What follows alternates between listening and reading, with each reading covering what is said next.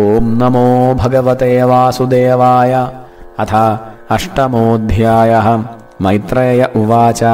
सनकाद्या नारदश्च रभुर्हंसोरुणिर्यतिः नैते गृहान् ब्रह्मसुता ह्यावसुन्योर्ध्वरेतसः मृषाधर्मस्य भार्यासीत् दम्भम् मायाम् च शत्रुहन् असूतमिथुनम् तत्तु निरृतिर्जगृहे अप्रजः। तयोः समभवल्लोभो निकृतिश्च महामते। ताभ्याम् क्रोधश्च हिंसा च। यद्दुरुक्तिः स्वसा कलिः दुरुक्तौ कलिराधत्त भयम् मृत्युम् च सत्तम तयोश्च मिथुनम् जज्ञे यातनानिरयस्तथा सङ्ग्रहेण मयाख्यातः प्रतिसर्गस्तवानघ त्रिः श्रुत्वैतत्पुमान् पुण्यम् विधुनोत्यात्मनोमलम् अथातः कीर्त वंशम् पुण्यकीर्तेः कुरुद्वः स्वायम्भुवस्यापि मनोः हरेरंशांशजन्मनः प्रियव्रतोत्तानपादौ शतरूपापतेः सुतौ। वासुदेवस्य कलया रक्षायाम् जगतः स्थितौ। जाये उत्तानपादस्य सुनीतिः सुरुचिस्तयोः सुरुचिः प्रेयसी पत्युः नेतरा यत्सुतो ध्रुवः। एकदा सुरुजेः पुत्रमङ्कमारोप्य लालयन् उत्तमम् नारुरुक्षन्तम् ध्रुवम् राजाभ्यनन्दत तथा चिकीर्षमाणम् तम् सपत्न्यास्तनयम् ध्रुवम् सुरुचिः शृण्वतो राज्ञः सेर्ष्यामाहाति गर्विता न वत्स नृपते अर्धिष्ण्यम् भवानारोढुमर्हति। न गृहीतो मया यत्त्वम् कुक्षावपि नृपात्मजः।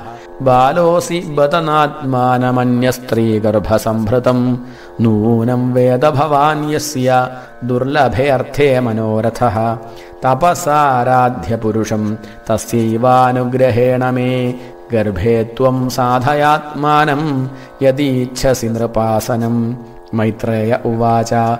मातुः सपत्न्याः स दुरुक्तिविद्धः श्वसन्नुषा दण्डहतो यथा हि हित्वा मिषन्तम् पितरम् सन्नवाचम् जगाममातुः प्ररुदन् सकाशम् तम् निःश्वसन्तम् स्फुरिदाधरोष्ठम् सुनीतिरुत्सङ्ग उदूह्य बालम् निशम्य तत्पौरमुखान्नितान्तम् सा विव्यधे यद्गदितम् सपत्न्या।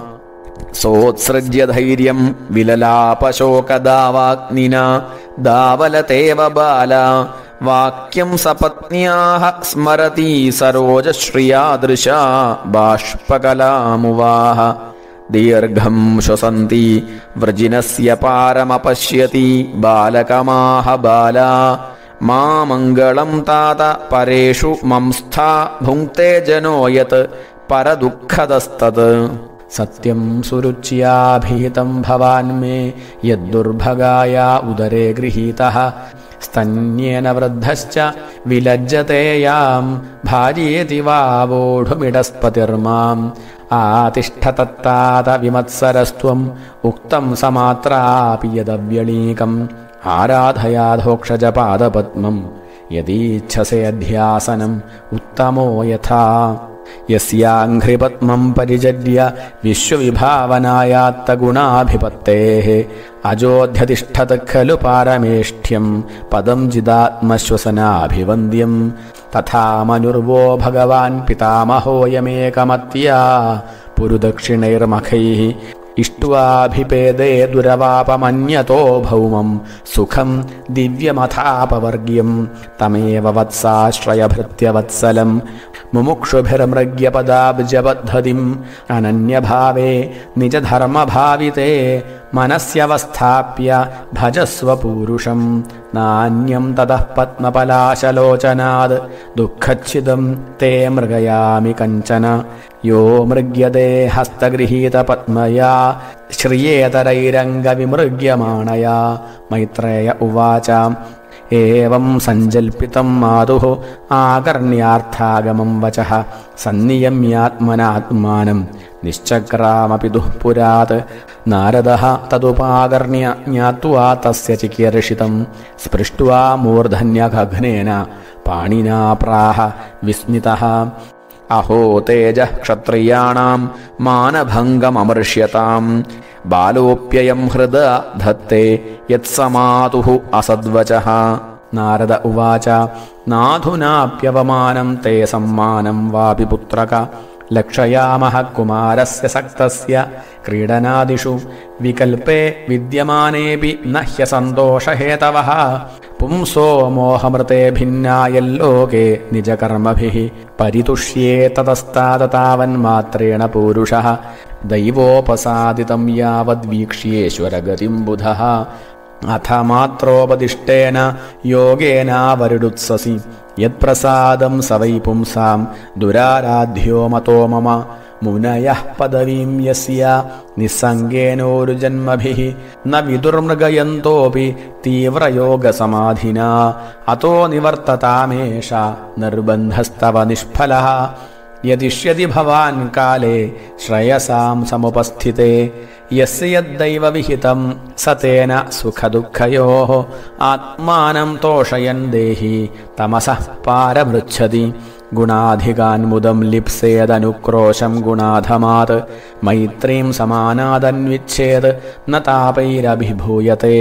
ध्रुव उवाच सोऽयम् शमो भगवता सुखदुःखहतात्मनाम् दर्शितः कृपया पुंसाम् दुर्दर्शोऽस्मद्विधैस्तु यः अथापि मे अविनीतस्य क्षात्रम् घोरमुपेयुषः सुरुच्या दुर्वचो बाणैः न भिन्ने श्रयते हृदि पदम् त्रिभुवनोत्कृष्टम् जिगीषोः साधुवर्त्म मे ब्रूह्यस्मत्पितृभिर्ब्रह्मन् अन्यैरप्यनधिष्ठितम् नूनम् भवान् भगवतो योऽङ्गजः परमेष्ठिनः। वितुदन्नटते वीणाम् हितार्थम् जगतोऽर्कवत् मैत्रेय उवाच। इत्युदाहृतमाकर्ण्य भगवान् नारदस्तदा। प्रीतः प्रत्याहतम् बालम्। सद्वाक्यमनुकम्पया। नारद उवाच। जनन्याभिहितः पन्थाः। स वै निःश्रेयसस्य ते भगवान् वासुदेवस्तम् भज तत्प्रवणात्मना। धर्मार्थकाममोक्षाख्यम् य इच्छेच्छ्रेय आत्मनः। एकमेव हरेस्तत्र कारणम् पादसेवनम् तत्तादगच्छ भद्रम् ते यमुनायास्तटम् शुचि। पुण्यम् मधुवनम् यत्र सान्निध्यम् नित्यदा हरेः स्नात्वानुसवनम् तस्मिन्। काळिन्द्याः सलिले शिवे कृत्वोचितानि निवसन्नात्मनः कल्पितासनः प्राणायामेन त्रिवृता प्राणेन्द्रियमनोमलम् शनैर्व्युदस्याभिध्यायेन्मनसा गुरुणा गुरुम् प्रसादाभिमुखम् शश्वतप्रसन्नवदने क्षणम् सुनासम् सुभ्रवम् चारुकपोलम् सुरसुन्दरम् तरुणम् रमणीयाङ्गमरुणोष्ठयक्षणाधरम् प्रणताश्रयणम् नृम्णम् शरण्यम् करुणार्णवम् श्रीवत्साङ्कम् घनश्यामम् पुरुषम् वनमालिनम् शङ्खचक्रगदापद्मैरभिव्यक्तचतुर्भुजम्। किरीटिनम् कुण्डलिनम् केयूरवलयान्वितम्। कौस्तुभाभरणग्रीवम्। पीतकौशेयवाससम्। काञ्चीकलापपद्यस्तम् लसत् काञ्चननूपुरम्। दर्शनीयतमम् शान्तम् मनोनयनवर्धनम्। पद्भ्याम् नखमणिश्रेण्या विलसद्भ्याम् समर्चताम् हृत्पद्मकर्णिकाधिष्ण्यमाक्रम्यात्मन्यवस्थितम् स्मयमानमभिध्यायेत्सानुरागावलोकनम् नियतेनैकभूतेन मनसा वरदर्शभम् एवम् भगवतो रूपम् सुभद्रम् ध्यायतो मनः निर्वृत्या परया तूर्णम् सम्पन्नम् न निवर्तते। जप्यश्च परमो गुह्यः श्रूयताम् मे नृपात्मज। यम् सप्तरात्रम् प्रपठन् पुमान् पश्यति खेचरान् ॐ नमो भगवते वासुदेवाय। मन्त्रेणानेन देवस्य कुर्याद्द्रव्यमयीम् बुध।